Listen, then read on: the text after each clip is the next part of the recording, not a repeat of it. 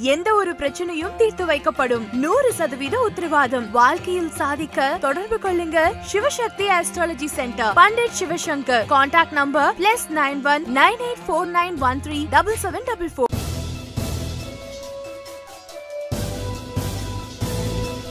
அதிகார போட்டிக்குள் நாம் பலிக்கடாவாக மாட்டோம். கோத்தபாய சபதம். பொதுமக்களிடம் பொது சுகாதார பரிசோதகர் சங்கம் விடுத்துள்ள முக்கிய வேண்டுகோள். தமிழர்கள் ஒருபோதும் ஏற்றுக்கொள்ள மாட்டார்கள். அரசாங்கத்துக்கு பகிரங்க தகவல். இதே நிலைமை நீடித்தால் தோல்வி உறுதி. ராஜாங்க அமைச்சர் விடுத்துள்ள எச்சரிக்கை. முன்னாள் ஜனாதிபதி மைத்ரிபால சிறிசேன எடுத்துள்ள சபதம். இறக்குமதி செய்யப்பட்ட தேங்காய் எண்ணெயில் ஆபத்தான ரசாயனம் விசாரணையில் உறுதி. சீனாவின் கோவிட் தடுப்பூசிகளும் இலங்கை வருகிறது. திகதி அறிவிப்பு. கட்டுநாயக்க பிசிஆர் ஆய்வகம் தனியார் மயமாக்கப்படுகிறதா? அரசாங்கம் வெளியிட்டுள்ள அறிவிப்பு. கோட்டாவின் வாத்திகளால் கடும் சீற்றத்தில் சிறுபான்மை தரப்பு. விஜயதாஸ் ராஜபக்ஷ கடும் தாக்கு.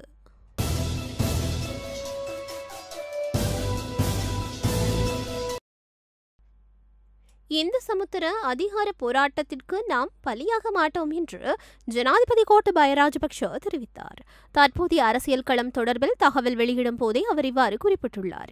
இதன்போது பேசிய அவர் கடந்த அரசாங்கத்தின் முட்டாள்தனமான நடவடிக்கைகளால் தேசிய பாதுகாப்பு வீழ்ச்சியடைந்தது. அதன் விளைவே உயிர்த்த ஞாயிறு தாக்குதலாகும்.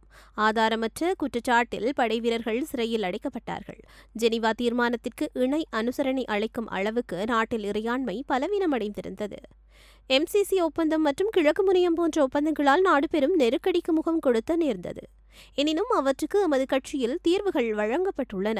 இவ்வாறு அனைத்து பிரச்சினைகளையும் உருவாக்கி அவற்றுக்கு ஒத்துழைப்பு வழங்கியவர்களே தற்போதைய அரசாங்கத்திற்கு எதிராக ஆர்ப்பாட்டங்களை முன்னெடுக்கிறார்கள். கடந்த அரசாங்கத்தின் பிரபலமானவர்கள் ஒருபோதும் ஆட்சியில் இல்லாததைப் போல் என்று பேசுகிறார்கள். இவர்களது செயற்பாடுகளும் அவ்வாறே உள்ளன. ஆதாரமற்ற குற்றச்சாட்டுகளை பற்றி பேசுவது எனது கொள்கை அல்ல என்ற போதிலும் உண்மையை தெளிவுபடுத்துவதற்காக இவற்றுக்கு பதிலளிக்க வேண்டியுள்ளது என்றார்.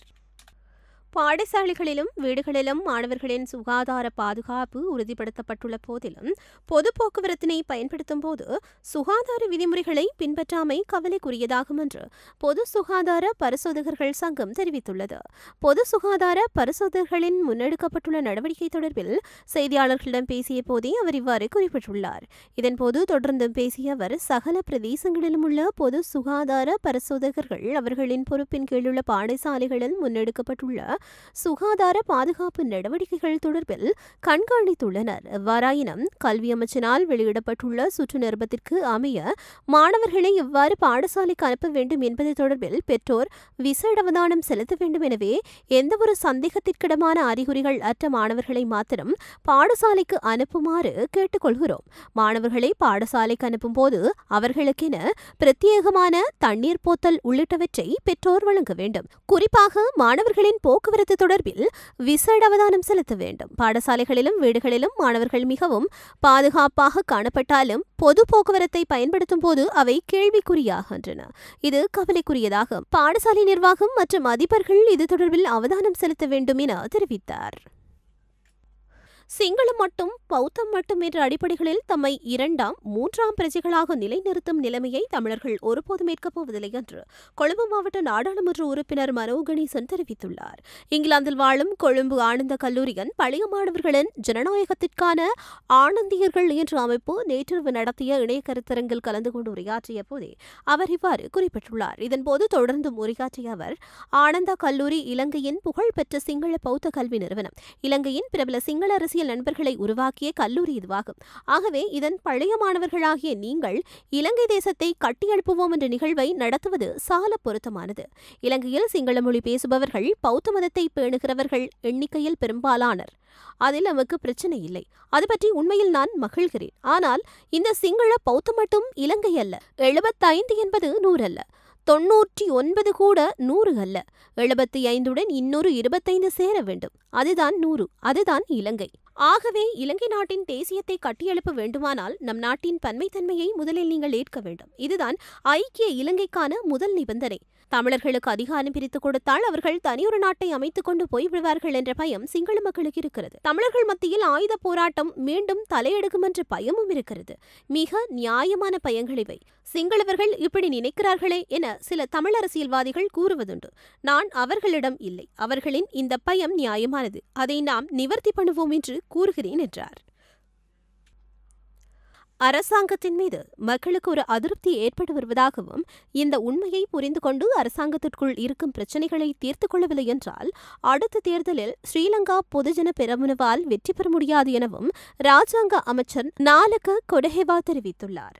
கம்பகாவில் நேற்று நடைபெற்ற ஸ்ரீலங்கா பொதுஜன பெரமுனவின் மாநாடு ஒன்றில் நாலக கொடஹெவா தெரிவித்துள்ளார். கம்பகாவில் நேற்று நடைபெற்ற ஸ்ரீலங்கா பொதுஜன பெரமுனவின் மாநாடு ஒன்றில் உரையாற்றும் போதே அவர் இதனை கூறியுள்ளார். அரசாங்கத்தின் ஜனரஞ்சகம் குறைந்து போயுள்ளது. நாம் யதார்த்தத்தை ஏற்றுக்கொள்ள வேண்டும். மூன்றில் இரண்டு பெரும்பான்மை பலத்துடன் இருக்க வேண்டிய அரசாங்கத்திற்கு இருக்க வேண்டிய மக்கள் ஆதரவுடன் தற்போது இருக்கிறதா? நமக்கு ஏதோ பிரச்சனை இருக்கிறது. மக்கள் மத்தியில் சில பிரச்சனைகள் இருக்கின்றன. மக்கள் மத்தியில் அதிருப்தி காணப்படுகிறது. இதனை புரிந்து கொள்ள முடியவில்லை என்றால் நாம் முன்னோக்கி செல்லும் போது மேலும் கீழ்நோக்கி செல்ல நேரிடும். இப்படியான நிலையில் அடுத்த தேர்தலில் அரசாங்கம் எப்படி வெற்றி பெறும் என்பதை சிந்தித்து பார்க்க வேண்டும். எமக்கிடையில் ஐக்கியம் இல்லையென்றால் அடுத்த தேர்தல் இலகுவாகனதாக இருக்காது. நாம் எப்படி ஆட்சிக்கு வந்தோம் என்பதை மறந்தால் அடுத்த தேர்தலில் எம்மால் வெற்றி பெற முடியாது. எமது அணியில் இருப்பவர்கள் இதனை மறந்து போயிருக்கும் விதத்தை பார்க்கும்போது மிகவும் கவலையாக இருக்கிறது. வியத்கம உறுப்பினர்களை எம்மவர்களே அதிகமாக விமர்சிக்கிறார்கள். வியத்கம அமைப்பினரை விமர்சிப்பது மத்திய தர வகுப்பை சேர்ந்த தலைமுறையினரை விமர்சிக்கிறோம் என்று பொருள். நடுநிலையான வாக்காளர்களை இழந்துவிட்டா நாம் அடுத்த தேர்தலை சந்திக்கப் போகிறோம் எனவும் நாலக கொடஹோவா தெரிவித்துள்ளார். முன்னாள் ஜனாதிபதி மைத்திரிபால சிறிசேனா ஸ்ரீலங்கா சுதந்திர கட்சியை வலுவாக முன்னோக்கி கொண்டு செல்லப் போவதாக சூளுரைத்துள்ளார் சுதந்திர கட்சியின் தலைமையகத்தில் நேற்று நடைபெற்ற கூட்டத்தில் உரையாற்றும் போதே அவர் இதனை கூறியுள்ளார். வலுவான இளைஞர்கள் ஸ்ரீலங்கா சுதந்திர கட்சியில் இணைந்து வருகிறார்கள். உலகில் அதிக அளவில் வறிய மக்கள் துயரத்திலும் துன்பத்திலும் இல்லை. உலகில் உள்ள செல்வந்தர்களே துன்பத்திலும் துயரத்திலும் இருக்கிறார்கள். பணம் குறையும் போது பிரச்சனைகள் குறையும். தினமும் கடனின்றி மூன்று வேளை சாப்பிட்டு சாதாரணமாக வாகனம் மற்றும் சிறிய இருப்பிடமே மனிதனுக்கு தேவைப்படுகிறது. இதன் மூலம் சமூகத்தில் நன்றாக வாழ வேண்டும் என்பதே மனிதனின் அவசியம். இதனை விடுத்து செல்வந்தர்களாக வர வேண்டும் என்பது மனிதனின் ஆசை அல்ல. எதிர்கால அபிவிருத்தியை திட்டமிடும் போது நாட்டின் வறுமையை ஒழிக்கும் வேலை திட்டத்தை உருவாக்க வேண்டும் என்பதே ஸ்ரீலங்கா சுதந்திர கட்சியின் கொள்கை. தற்போது ஸ்ரீலங்கா சுதந்திர கட்சிக்கு மிக ஆதரவு கிடைத்துள்ளது என்றார். இலங்கைக்கு இறக்குமதி செய்யப்பட்ட தேங்காய் எண்ணெய் மாதிரிகளில் புற்றுநோய் ஏற்படுத்தக்கூடிய பொருள் உள்ளமை உறுதி செய்யப்பட்டுள்ளதாக ராஜாங்க அமைச்சர் லசந்த அழகியவன தெரிவித்துள்ளார். பரிசோதனைக்குட்படுத்தப்பட்ட தேங்காய் எண்ணெய் மாதிரிகளில் புற்றுநோய் ஏற்படுத்தக்கூடிய எப்ளோடைசின் காசினோஜன் என்ற ரசாயனம் அடங்கியுள்ளமை கண்டுபிடிக்கப்பட்டுள்ளது. இலங்கை தரச்சான்றிதழ்கள் நிறுவனத்தின் பணிப்பாளர் நாயகம் இதை உறுதிப்படுத்தியதாக ராஜாங்க அமைச்சர் தெரிவித்துள்ளார். அந்த வகையில் இறக்குமதி செய்யப்பட்ட அனைத்து தேங்காய் எண்ணெய் மாதிரிகளும் தரமற்றவை என உறுதியாகியுள்ளது மேலும் அவற்றை முழுமையாக நிராகரிப்பதாகவும் இலங்கை தரச்சான்று நிர்வாகம் தெரிவித்துள்ளது. தரச்சான்று நிறுவனத்தின் பரிசோதனைகள் நிறைவடையும் வரையில் நுகர்வோர் அலுவலர்கள் அதிகார சபையின் வசமிருந்து தேங்காய் எண்ணெயை மீளேற்றுமதி செய்யவும் உரிய சட்ட நடவடிக்கை எடுக்கப்பட்டுள்ளதாக ராஜாங்க அமைச்சர் மேலும் தெரிவித்துள்ளார். சீனாவில் தயாரிக்கப்படும் சைனோஃப்ராம் கோவிட் தடுப்பூசிகள் நாளை மறுதினம் புதன்கிழமை நாட்டை வந்தடையுள்ளதாக ஜனாதிபதியின் சிரேஷ்ட ஆலோசகரும் கோவிட் தடுப்பூசி தொடர்பான ஜனாதிபதி செயலணியின் தலைவருமான லலித் வீரதுங்க தெரிவித்தார். அதற்கமைய முதல்கட்டமாக ஆறு லட்சம் தடுப்பூசிகள் கிடைக்கப்பெற உள்ளன இதற்கான நடவடிக்கைகள் முன்னெடுக்கப்பட்டு வருகின்றன. சைனோஃபார்ம் தடுப்பூசிகளுக்கு இலங்கையின் அவசர பயன்பாட்டுக்கு இலங்கையின் தேசிய மருந்துகள் ஒழுங்குறுத்துகை அதிகார சபை அனுமதி அளித்துள்ளதாகவும் லலித் வீரதுங்க தெரிவித்துள்ளார். இதேவேளை ரஷ்யாவில் தயாரிக்கப்படுகிற ஸ்புட்னிக் தடுப்பூசிகளும் விரைவில் பெற்றுக் கொள்ளப்பட உள்ளன. முதல்கட்டமாக ஏழு மில்லியன் தடுப்பூசிகளை கொள்வனவு செய்வதற்கு நடவடிக்கை எடுக்கப்பட்டுள்ளது. அதற்கு அமைச்சரவை அங்கீகாரம் வழங்கியுள்ளது. விரைவில் இந்த தடுப்பூசியையும் பெற்றுக்கொள்ள முடியும் என்று விரைவில் இந்த தடுப்பூசியையும் பெற்றுக்கொள்ள முடியும் என்று லலித் வீரசிங்க மேலும் தெரிவித்துள்ளார். லலித் வீரதுங்க மேலும் தெரிவித்தார். கட்டநாயக்க சர்வதேச விமான நிலையத்தில் உள்ள பிசிஆர் ஆய்வகத்தை தனியார் மயமாக்க எந்த நடவடிக்கையும் எடுக்கப்படவில்லை என அரசாங்கம் கூறுகின்றது. சுகாதார வல்லுநர்கள் அமைப்பினால் முன்வைக்கப்பட்ட குறித்த குற்றச்சாட்டுகள் தவறானவை என சுற்றுலாத்துறை அமைச்சர் பிரசன்ன ரணதுங்க என்று தெரிவித்தார். இந்த குற்றச்சாட்டுகள் அரசாங்கத்தை சங்கடப்படுத்த எதிர்க்கட்சிகளால் ஊக்குவிக்கப்பட்ட ஒரு தவறான பிரச்சாரத்தின் ஒரு பகுதியாகும் என்று அவர் கூறினார்.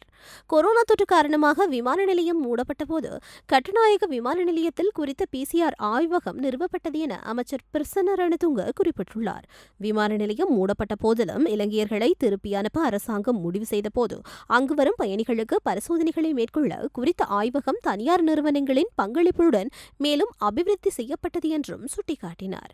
இதேவேளை மினுவாங்கொடையில் உள்ள கொரோனா தொற்றின் இரண்டாவது அலை ஏற்பட்ட போதும் கம்பகா உள்ளிட்ட நாட்டின் பல பகுதிகளில் பெறப்பட்ட பிசிஆர் பரிசோதனைகளின் அறிக்கை குறித்த ஆய்வகத்தின் ஊடாக வழங்கப்பட்டது என்றார். ஆட்சிக்கு வந்த நாள் முதல் தாங்கள் சிங்கள பௌத்த அரசாங்கம் என இந்த அரசாங்கம் முத்திரை குத்திக் கொண்டதால் அது ஏனைய சமூகங்களின் சீற்றத்தை எதிர்கொண்டுள்ளது என நாடாளுமன்ற உறுப்பினர் விஜயதாச ராஜபக்ஷ தெரிவித்துள்ளார். இது தொடர்பில் அவர் தெரிவித்ததாவது சிங்கள பௌத்த மக்களின் வாக்குகளால் தான் தெரிவு செய்யப்பட்டேன் என ஜனாதிபதி தெரிவிக்கிறார். தலைவர் ஒருவர் சமூகங்களுக்கு இடையிலான பாகுபாட்டை வெளிப்படுத்தினால் ஏனைய சமூகங்கள் என்ன செய்ய முடியும்? நாங்கள் இறையாண்மையுள்ள நாடு என தெரிவிக்கின்ற போதிலும் இலங்கையில் இறையாண்மை இல்லை. உலகில் எந்த நாடும் இறைமையுள்ள நாடு என தெரிவிக்க முடியாது. நாங்கள் இறைமையின் கீழ் வரிசையில் நிற்கின்றோம். எங்கள் பொருளாதாரம் செல்ல வேண்டிய திசையை சீனா தீர்மானிக்கிறது. நாங்கள் பொருளாதாரத்தில் தப்பி வாழ்தலை இந்தியாவும் அமெரிக்காவும் ஐரோப்பிய ஒன்றியமும் தீர்மானிக்கின்றன. நடைமுறையில் இறைமை இல்லை. மற்றைய பிரச்சினை அரசாங்கத்திற்கு பெரும்பான்மை கட்சிகளுக்கும் இடையிலானது. இரண்டாயிரத்தி பதினைந்தில் சீற்றம் காணப்படவில்லை. தற்போது தமிழ் முஸ்லிம் மக்களும் சிங்கள மக்களில் பெரும்பாலான மக்களும் அரசாங்கத்தை குறித்து சந்தேகம் கொண்டுள்ளார்கள். ஆட்சிக்கு வந்த நாள் முதல் தாங்கள் சிங்கள பௌத்த அரசாங்கம் என முத்துரை குத்திக் கொண்ட அரசாங்கம் ஏனைய அனைவரையும் சீற்றத்துக்குள்ளாக்கியுள்ளது. அவர்கள் இருபதாவது திருத்தத்தின் மூலம் அதிகாரங்களை பெற்றார்கள். ஆனால் எதனையும் செய்யவில்லை. இருபதாவது திருத்தத்தினை நிறைவேற்றிய பின்னர் சூழல் அளிக்கப்பட்டுள்ளது இதேவேளை சர்வதேச அளவில் நாங்கள் அவமானத்துக்குள்ளானோம். பொருளாதாரம் வீழ்ச்சியடைந்துள்ளது. இதன் காரணமாக இந்த அரசாங்கம் சந்தேகத்துடன் பார்க்கப்படுகிறது. பெரும்பான்மை இனத்தவர்களுக்காக மாத்திரம் அரசமைப்பை உருவாக்க முடியாது என்பதை அரசாங்கம் உணர வேண்டும் அரசாங்கத்தின் அறிக்கைகள் காரணமாக சீற்றங்கள் காணப்படுகிறது என்றார்.